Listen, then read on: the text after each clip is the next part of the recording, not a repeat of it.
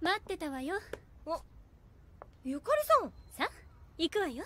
えどこに？いいところ。っ。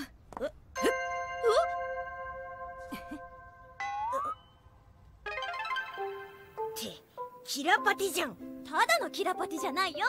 今日はみんなでレッツラパジャマパーテいきなり言われても水島が。